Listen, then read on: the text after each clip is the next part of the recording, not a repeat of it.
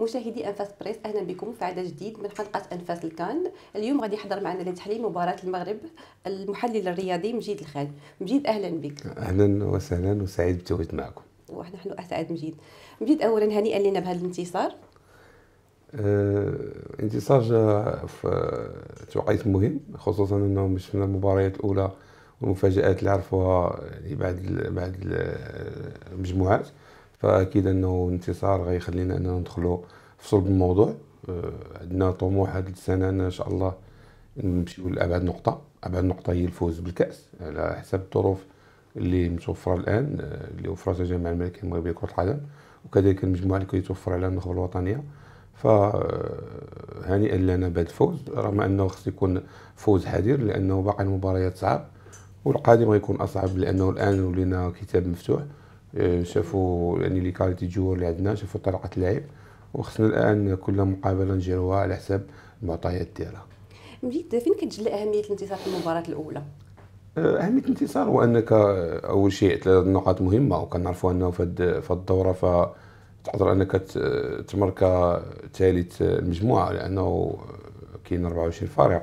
ثاني شيء هو إعطاء الثقة للاعبين وخصوصا أنه عرفنا ذوك المنتخبات الكبرى سوا ديزون كبرى مثل مصر الجزائر نيجيريا غانا يعني منتخبات اللي هما كبار وعندهم سيد كبير في في, في كأس إفريقيا تمحنوا في المقابلة الأولى.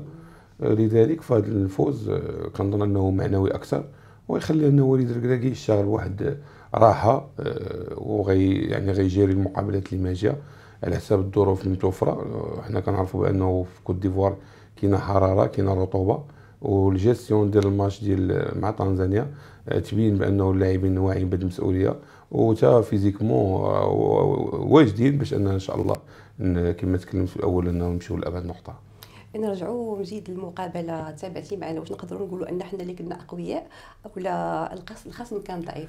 فبحال هذه المباريات أنك صعيب تحكم على الخصوم خصوصا أنهم كيواجهوا رابع العالم اللي هو المنتخب المغربي. يعني كانوا هما أكثر حيطة وحذر رغم اللي شفنا في الاحصائيات فاستحواذ الكرة ما كانش اللي هو بشكل كبير في المنتخب الوطني ف 52% مقابل 48 ولكن في النجاح الهجوميه وعدد ديال الهجمات هو اللي كان لصالح المنتخب المغربي. الا تكلمنا على سبعة تسديدات مؤطرة بالنسبة للمنتخب الوطني وصفر تسديدة مؤطرة بالنسبة للمنتخب التنزاني. هنا يتبين مدى القوة لأنه الاستحواذ كنتكلموا عليه فبالنسبة للاستحواذ ديال المنتخب التنزاني فكان كيلعبوا الكرة في في منطقة يعني الثلث الأول من الملعب ما كانوا في المنطقة الدفاعية ديالهم.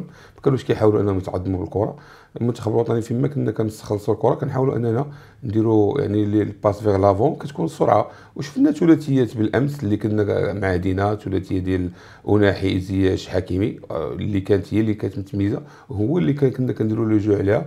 كان تنويع من من الهجمات آه، خصوصا أنه في واحد الوقت ما بقاش ما عادش كنلقاو هذوك les circuits اللي كنا كنوجدوهم ولينا كنعتمدوا على الكرات الطويله ولينا كنحاولوا أننا نمشيو من العمق ولكن على العموم التقنية في المنتخب الوطني كان مميز والمنتخب التنزاني كان متواضع شيئا ما؟ دابا إلا لاحظتي معنا مجيد الصحافة اليوم تسلط الضوء بزاف على على المنتخب المغربي. واش نتوقعوا في ظل هذه المباراة الأولى غادي يكون ضغط كثير على المنتخب في القادم؟ لا فالمنتخب الوطني المغربي فأول شيء فكنتكلموا على آه، نصف نهائي ديال كأس العالم رابع في كأس العالم. كذلك القيمة ديال اللاعبين اللي عنده فرا تكلمنا على آه، حكيم زياد تكلمنا على حكيمي آه، نايف أكراد حارس بوناني لاعبين اللي هما كبار. فعادي وبديهي أن الصحفيين أنهم يعني يوجهوا البوصلة ديالهم للمنتخب الوطني.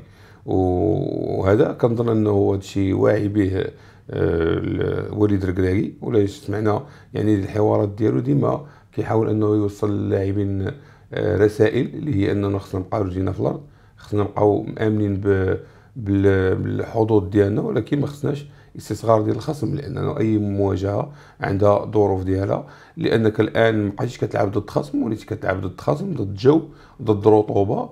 وكذلك ضد أشياء اللي هي خارجية خصوصا التصريحات ديال بعض بعض المنابر وبعض المدربين. ولكن حنا ما حنا كبار على هذا الشيء. حنا الآن كنجاوبوا في ال terrain وخير دليل الجواب اللي جاوبنا آه، المدرب ديال المنتخب التنزاني أننا فزنا عليه ب 3 0 فزنا عليه في احصائيات ديال كأس العالم وهذا خير جواب من الأحسن من أنك تجاوب في الملعب أنك تجاوب في المنابر الاعلاميه بالمناسبة مادام دخلتي مادام ذكرتي مدرب ديال تنزانيا شنو رسالتك ليه سي مجيد؟ فانا سابقا كنت جاوبت عليه هو أنه حنا ما كندويش في هذه الأشياء. وهاد المدربين النكرة ما كنبقاوش أننا نعطيهم واحد القيمة اللي هي كبيرة. أه كنظن أنه هذاك التصريح كيمثل نفسه ما كيمثلش المنتخب التنزاني لأنه كاين تناقض كبير ما بين التصريحات اللي كان كيعطيو التصريح اللي عطاو وعاوتاني فين كان في الندوة الصحفية الأخيرة مع صحفيين مغاربه بدل. إذا كتبان كان الشخصية ديالو آه، ضعيفة ولكن الجواب آه، كما حنا نجاوبوه كرويا فزنا عليه ب 3 0 الآن حنا غنشوفوا حاجة أخرى هو أصبح في الماضي. تنطلقوا معاه مرة أخرى إن شاء الله ولا مع المنتخب التنزاني ونعاودوا نربحوا باش نبينوا ليه باننا حنا المنتخب الوطني المغربي. ماشي ماشي آه، كولسه حنا كنديروا عمل. حنا عندنا عندنا استراتيجية. كاين واحد الثقة ما بين الجمهور اللي رجعت مع المنتخب الوطني. كاين روح مجموعة اللي زرعها وليد ركراكي وكاين جمهور اللي وراه ورا آه، ورا المنتخب الوطني وإن شاء الله نحققوا نتائج إيجابية في حتى تصريحاته حتى تصريحاته من برا المقابلة راه قال مع أن الفوز ديال المنتخب المغربي راه فوز مستحق. قلت كان كاين تناقض كبير في في المدرب ولكن كيبين الشخصية ديالو ولا شفنا يعني السيره الذاتية ديالو راه يعني بدا في فروق صغرى في بلجيكا ودرب منتخبات في الصيف الثالث والرابع. فإحنا كما قلت حنا كبار على هذا الشيء حنا آه، الحمد لله ما هو تقني هو اللي كيهمنا.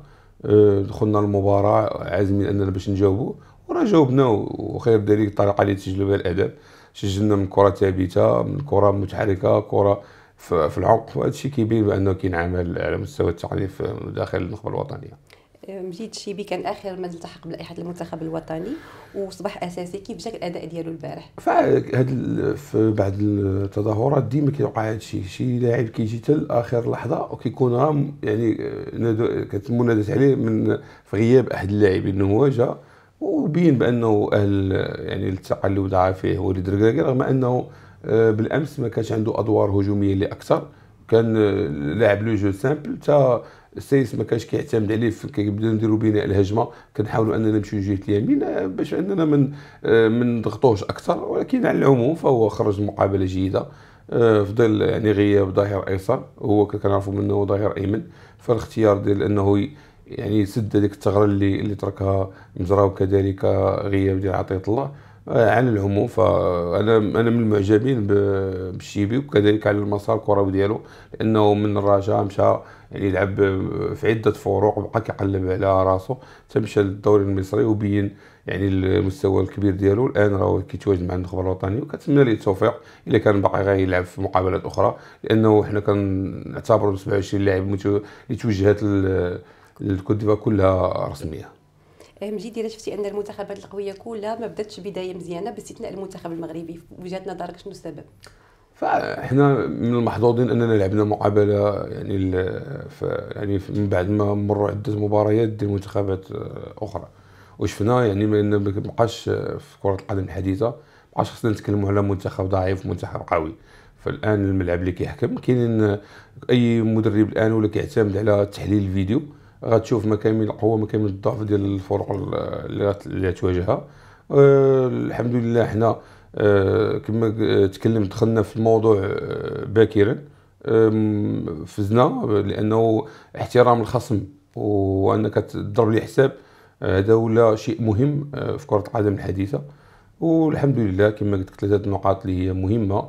وغنواجهوا يعني منتخبات اللي هي قوية لأنه منتخب تنزاني كنعتبر إنه منتخب عادي. فالآن كاين كونغو الديمقراطيه وكذلك زامبيا. زامبيا شفنا بالأمس رغم أنهم ما كانتش عندهم الكره ولكن منتخب اللي كيعرف أنه عنده تنظيم دفاعي اللي قوي. كونغو الديمقراطية عندهم المهارات اللي كبيرة عندهم فرديات اللي جميلة وكجماعة كلاعب جماعي فهم منتخب اللي هو آه، متميز. فيعني كما تكلمت في الباقي اللي غيجي هو اللي غيكون أصعب. بغينا قراءتك للمقابلة المقبلة ديال المنتخب المغربي فالحمد لله كما تكلمنا أول شيء آه، يعني في الجانب الذهني فاللاعبين آه، بينوا أنهم واجدين التظاهره ثاني شيء في هذه المدة ديال أربعة أيام وثلاثة أيام فخص ضروري أن الطاقم الطبي تو يشتغل في استرجاع الطراوة البدنية وكذلك أن اللاعبين اللي مصابين يكونوا prêts لأنه حنا محتاجين لجميع الوفد اللي اللي توجه لكوت ديفوار.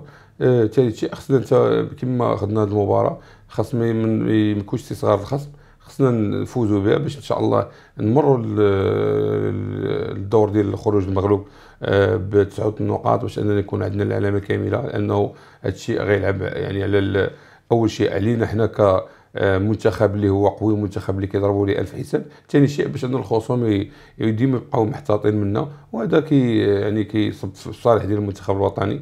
وهاد السنة كان كاينة كاينة ثقة ما بين ما بين الجمهور وحنا كمتتبعين وكذلك المنتخب الوطني.